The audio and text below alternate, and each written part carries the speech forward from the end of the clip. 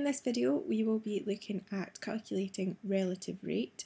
It is assumed at higher that you can already calculate average rate using the equation from National 5, so change in quantity divided by change in time. We use relative rate at higher when we're looking at reactions where you may not have a quantity that you can measure over the course of your reaction and instead you might have something like a really obvious colour change. You can find the equation here, this one, on page 4 of your data book but you may need to rearrange it to be able to calculate time as well so just be aware that you may want to learn how to do it in this form as well. The rates that we look at are usually in uh, time in seconds so that means that your rate is per second and if you're doing it the other way around it's so you can find out the full length of the time for the reaction. We're going to have a look at doing calculations using both of these and then I'll show you an instance of where this would actually be used. Okay, so here are two calculations for you to try. So if you want to pause the video and give it a try and then I'll show you a worked example of how to calculate them. Calculating relative rate is really straightforward. We're just going to do rate equals 1 divided by the time in the question, which is 58 seconds, which will give us a relative rate of 0.017 per second.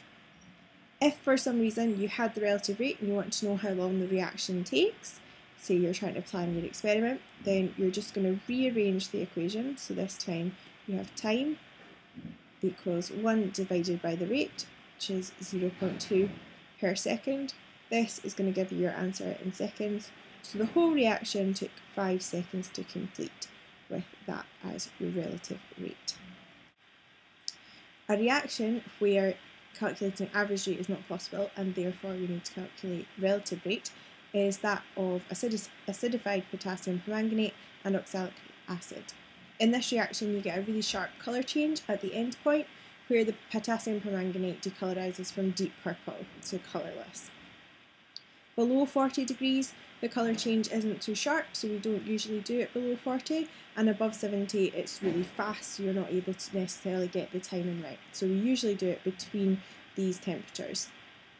If you were to carry out this reaction these are the sorts of results that you might get. So you can pause the video again, see if you can calculate the rates, and then I'll just write in the rates for you at the end. So if you were to be calculating the rates for these times, just doing 1 divided by time for the whole column, you would end up having 0 0.011, 0 0.025, 0 0.0 0.59 and 0.120. So it's clear already from the table that there is a relationship between your temperature and the rate. So for every 10 degree rise you get a roughly a doubling of the rate and we can see this if we plot it as a graph. So when plotted as a graph you don't get a linear relationship, you get this curve here.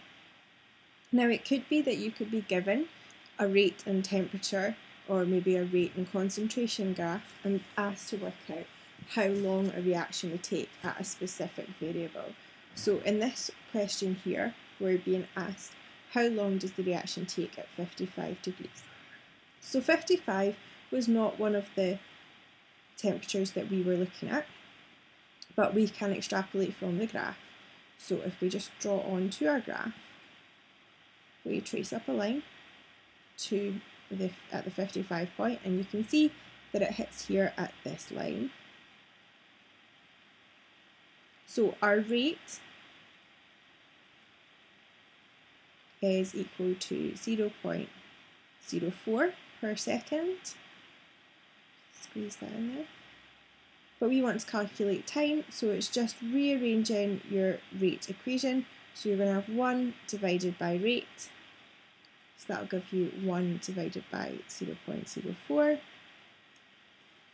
And your final answer would be that at 55 degrees, you would expect the reaction to take 25 seconds. I hope that you've enjoyed this video on the first topic of higher chemistry, uh, controlling the rate. Do come back for more videos as the course goes on and remember to subscribe and follow me on Twitter at Miss Adams Chem. Thank you!